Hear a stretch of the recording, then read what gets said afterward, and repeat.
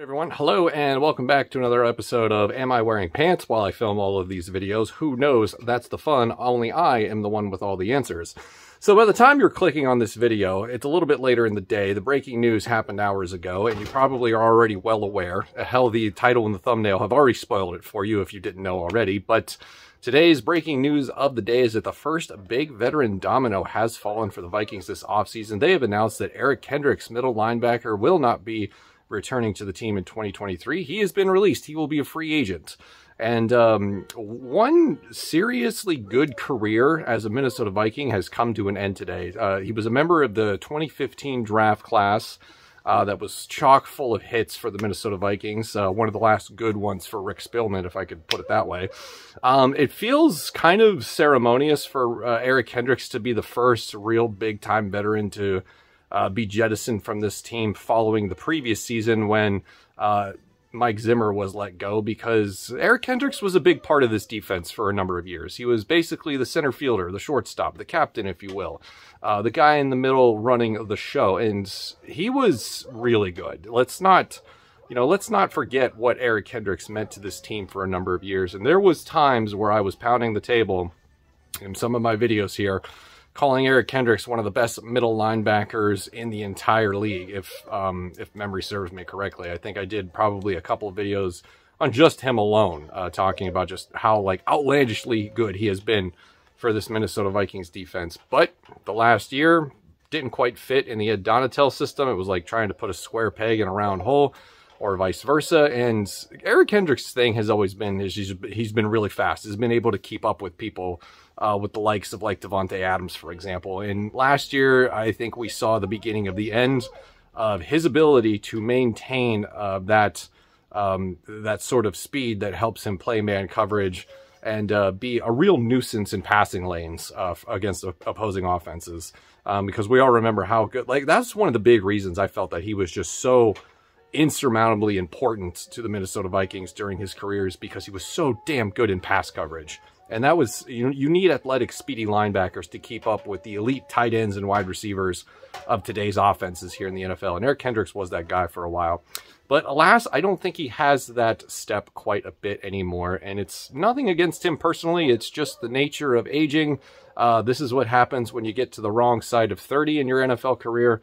You start to slow down just enough for it to be noticeable just enough for opponents to start getting the kind of separation that makes you go, hmm, I don't think that this is working anymore, at least not at this uh, current salary. So that's the other part of it. The Minnesota Vikings are clearly making this move because they need cap space. They need cap space desperately. And I believe by next week, you have to be cap compliant. So this is not the last significant move that we're going to see. It's just that the first domino has fallen uh, because they have a lot of work to do before we can get to free agency because we need money to be able to afford free agents. So there's going to be a lot more high priced veterans getting jettisoned from this team. And Eric Kendricks was the obvious choice because I believe they saved 10 or 11 million dollars to the salary cap. And, uh, you know, it, that's just too much.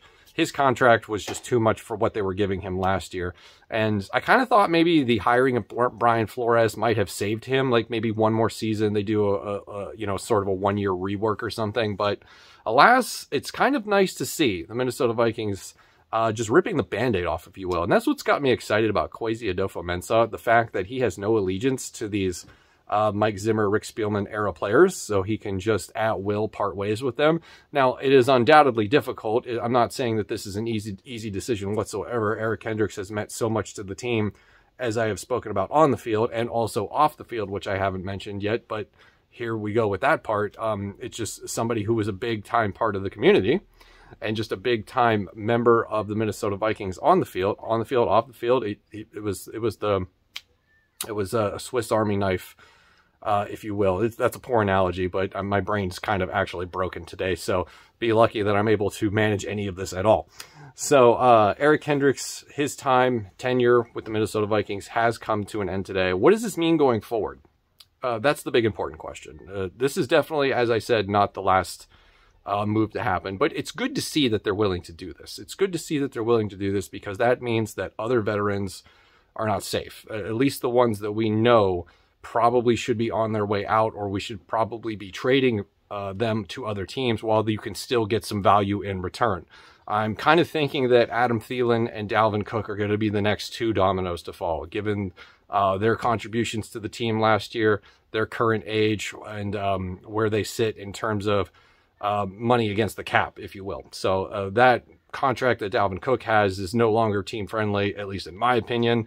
And Adam Thielen being the second highest player on the team currently is just uh, is just a joke because of his production last year, and he's been harping on social media and in podcasts and you know interviews that he would like a more expanded role. And I just I don't think you're going to get a more expanded role, Mr. Adam Thielen, in this offense at your current age and at your current physical capabilities. It was a great story. I would would love for him to retire Minnesota Viking, but I don't think it's going to happen. It just it's just one of those things that seems too obvious, like the Vikings releasing Eric Kendricks today. Does this mean that they're going to tear everything down and completely rebuild from the ground up? I doubt it. I, I think they still want to be competitive, but it does kind of, you know, hint to the fact that they're telling themselves, hey, we tried to keep everybody last year. It sort of kind of worked, but it also didn't at the same time because we're still no closer to the ultimate goal of winning a Super Bowl that we want. So it is what it is. So let me know what you think about Eric Kendricks being released by the Minnesota Vikings today. That's going to do it for me. Thank you for joining me. I'll see you in the next one.